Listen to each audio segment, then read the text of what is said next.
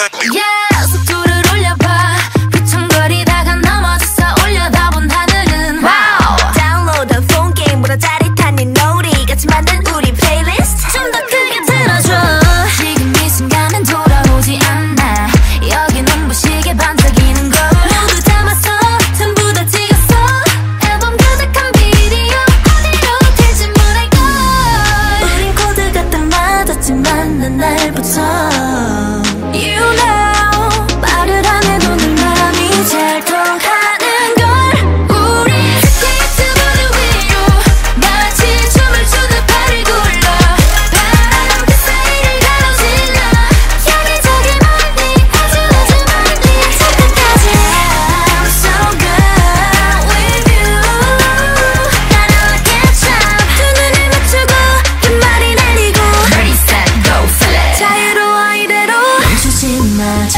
끝까지 울쩍 날아가. 우린 이제 이곳을 벗어날 거야. 그때 마주친 그 표정을 잊을 수 없었지.